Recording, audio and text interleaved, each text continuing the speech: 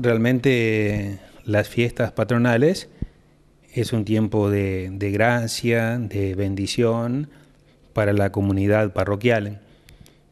Como todos los años, hay unos días previos, la novena, donde celebramos la Eucaristía en distintos lugares no habituales. El primero, como siempre, en el hospital, también en la ermita San José, en la ermita Sagrado Corazón, en la capilla Nuestra Señora de El Valle, em, en la escuela 33, y de ese modo hemos estado en distintos lugares de la ciudad. Eh, esta tarde lo hacemos sobre la ruta 39, Nuestra Señora Luján que también es un centro de peregrinación. Eh, la feligresía aprovecha a caminar y en el punto final, en el destino, se encuentra con una hermosa imagen de la Virgen. Bueno, para esta noche la Comisión Pro Templo, el grupo de trabajo, ha organizado una cena en el quincho de la cooperativa ganadera este, que es una ocasión de encuentro, de familias, una ocasión de sociabilidad y también, bueno, en la parroquia siempre se están haciendo mejoras edilicias y es una forma de recaudar fondos. Entonces hay, hay dos motivos. ¿eh? El encuentro humano que nos hace crecer en amistad, en sociabilidad, en integración unos con otros y también el hecho de todo lo necesario para el mantenimiento de los edificios. ¿Puede recordar la historia de San José Obrero? Bueno, eh, sí. Eh, San José, por ejemplo, es alguien del cual no se tienen muchos datos. Distintos otros santos donde hay libros y libros sobre su vida, es muy poco lo que conocemos de San José. Eh, él es el esposo de la Virgen María, es el padre adoptivo de Jesús. El Papa Juan Pablo II lo llama el custodio de Redentor. Por los evangelios sabemos que era de profesión carpintero y que también era un hombre justo, o sea que estaba adornado por todas las virtudes.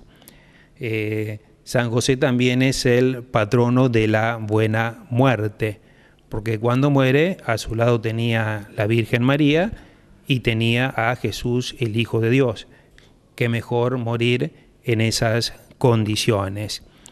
Bueno, eh, José fue obrero, fue carpintero y a partir de ahí entonces es el patrono universal de los trabajadores y nuestra ciudad, Basa Bilbaso, también lo tiene como patrono. Así que, en fin, modelo de dedicación a la familia, modelo de trabajo, modelo de fe. Esta sería como la síntesis de eh, José. Nosotros como comunidad parroquial, eh, mañana, primero de mayo, eh, tenemos la procesión nos encontramos frente a, la Plaza San Martín, procesión que va a estar encabezada por nuestro obispo, Monseñor Jorge Eduardo Lozano. Eh, venimos en procesión y en el interior del patio parroquial celebramos la Eucaristía. Eh, bien, una vez concluida la celebración eucarística, eh, los chicos de catequesis presentan distintas pancartas alusivas a nuestro patrono. Y luego habrá eh, por parte de la municipalidad una pequeña obra de teatro orientada para niños, algunos números musicales y el grupo Kairos ha preparado una cierta cantidad de, juegos para niños, esos que, que, gustan tanto como tumbalatas, lotería, pescaditos y demás, como para pasar realmente una tarde muy amena en lo religioso, en la devoción y también en el tema de, la diversión, de la música, del teatro, las distintas manifestaciones culturales que también hacen a el encuentro de una ciudad. año a año se suma más gente a lo que es esta procesión y a venerar a San José? Bien, yo diría que el número es estable. No puedo decir que disminuye el número y tampoco puedo decir que ha aumentado una cantidad. Es un número eh, más o menos estable. Distinto sí podría ser Semana Santa, que se nota una acentuación positiva a lo largo de los años. Pero bien, en el caso de nuestro patrono, no podría hablar de un aumento eh, sostenido. Eh, pero sí, bueno, un grupo de devotos que con gusto, con convicción, participa de las celebraciones. ¿Esto a partir de qué hora va a ser mañana? Entonces, tres y media de la tarde nos encontramos en la Plaza San Martín. De ahí venimos en procesión, caminando, con cantos, con oraciones y bueno, más o menos estaremos llegando acá a las 4 de la tarde, donde se inicia la celebración de la Eucaristía. Luego la obra de teatro, la música, los distintos juegos para niños. La canonización de Juan Pablo II y San Juan XXIII. Ahí está. Em, bueno, eh, San Juan XXIII tuvo un mérito destacado que fue la convocación a el Concilio Vaticano II. Eh, fue él el que lo convocó, fue él el que lo inició. Y como siempre, la verdad histórica hay que reconocerla en su plenitud. Eh, Juan eh, convoca el Concilio Vaticano II y la particularidad es que al poco tiempo él muere. Así que deja una inmensa obra en sus comienzos. Entonces el que tiene el mérito grandioso de la continuidad y la finalización del Concilio Vaticano II es el Papa Pablo VI, que para eso puso en marcha una infinita paciencia por la complejidad de los temas desarrollados y también una infinita sabiduría porque realmente Pablo VI también era un hombre muy lúcido, muy, muy estudioso. Lo podríamos comparar con Benedicto XVI. Eh, Juan Pablo II nos es más conocido, más cercano, eh, un papa que ha tenido una relación con todo el mundo en sus viajes pastorales. Acá en Argentina tenemos una gratitud muy grande con él, como se jugó para detener eh, la guerra con Chile en el Bigle, donde una guerra que ya estaba, faltaban horas para iniciarse. Eh, bueno, lo que se vio ahí es una fiesta magnífica, de alegría, de fe, de peregrinos, una ceremonia impecable, así que fue un momento de satisfacción muy grande para toda la cristiandad. Eh, por todo lo que significó estos dos papas para la iglesia y también eh, por esa fiesta que vivieron todos los peregrinos, que se calculaba entre 800.000 un millón de personas. Además, la posibilidad que tiene hoy en día la tecnología de que también mucha gente lo pudo ver a través de internet y bueno, de la televisión, ¿no? Eh, sí, sí, sí, sí. Eh, yo también tuve ocasión de ver eh, una parte de, la misma. Eh, uno puede ver el trabajo de cámaras excelente que, han hecho los hombres de la televisión y la misma estética del lugar, todo prolijamente adecuado, con una simetría, la cantidad de flores que había, los lugares asignados para cada uno de los distintos representantes pude ver también ese abrazo, ese saludo entre el Papa Francisco y el Papa Benedicto XVI. Algo que hace mm, que sea todo más cercano, ¿no? Eh, ya lo creo, ya lo creo. Es una ocasión de, encuentro muy grato, eh, muy cordial. Y aparte que la canonización del Papa Juan Pablo II eh, fue pedida inmediatamente una vez fallecido él, cosa que no ha sucedido con, con todos los papas. Eh, ante esa canonización inmediata, eh, bueno, lo que hizo Benedicto XVI fue respetar las reglas, respetar los procesos, entonces él pidió todo un exhaustivo examen de su vida, como se hace con, con todos. El padre Juan Diego Escobar ya es muy conocido entre nosotros porque todos los años viene, celebramos la misa en el polideportivo. Eh, la historia nació de, esta manera. Hay todo un grupo de feligreses que habitualmente va a sus misas en Lucas González. Eh, esos mismos feligreses en una ocasión pidieron si no se lo podía invitar a que venga a Basavilbaso, a los efectos de facilitar a muchos por el tema del traslado, eh, ningún problema.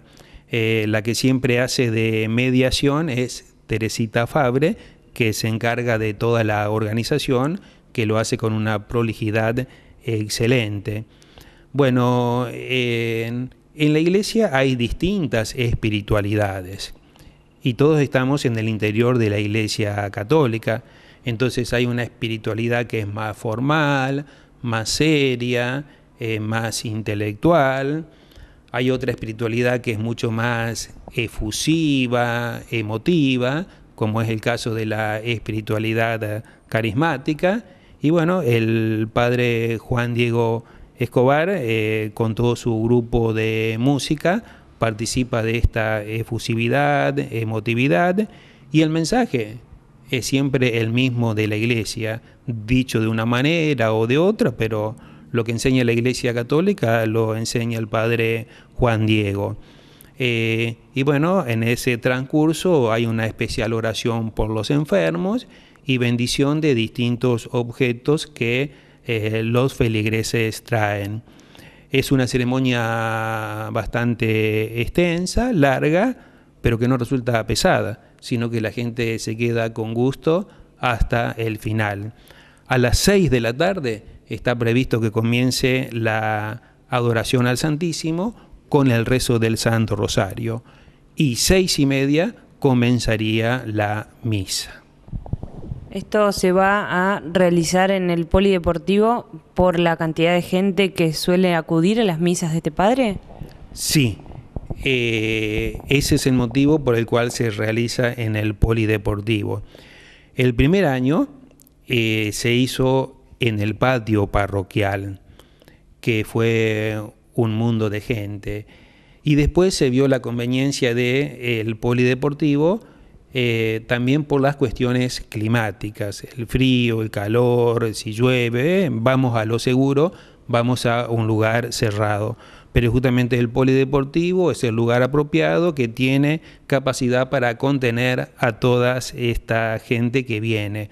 Normalmente se ponen unas mil sillas y a su vez siempre hay un grupo que viene con sus sillones, pero realmente aquel lugar es un espacio muy apto, muy adecuado para este tipo de celebraciones y tantas cosas que sabemos que se hace allá. Realmente para Basay Vaso tener un lugar así es algo muy, muy valioso.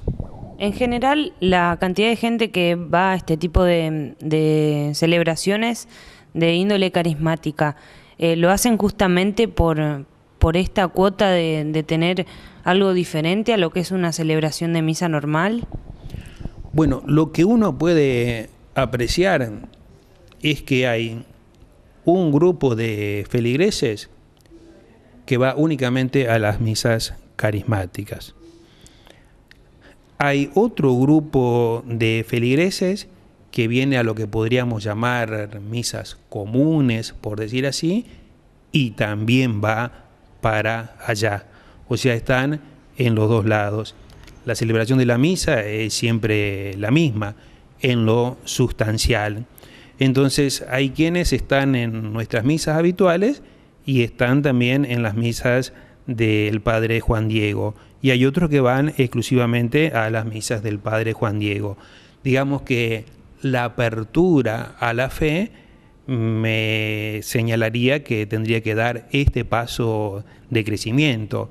Eh, la misa la celebre quien celebre, es un encuentro con Jesús, eh, con Dios y yo puedo estar tanto en una como en otra.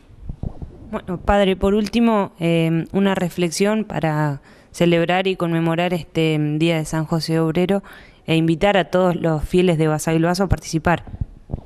Bien, eh, es el patrono de los trabajadores.